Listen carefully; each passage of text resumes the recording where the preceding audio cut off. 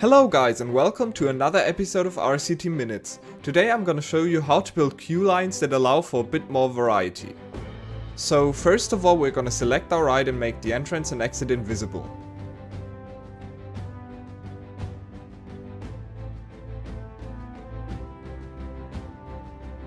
Then we're gonna lower the ground under the queue line and under the exit path. Now we can choose any type of floor we want for our queue line, for example wooden blocks. We're gonna place them like this.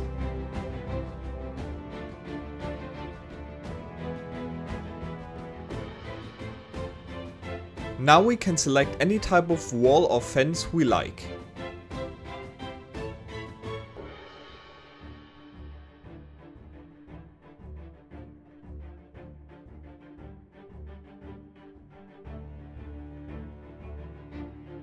We are also gonna add another entrance banner with the name of our ride.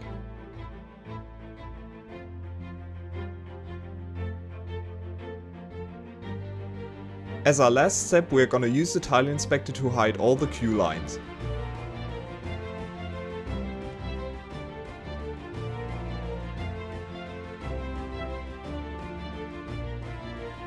So that's it for today, I hope that you had some fun and see you next time!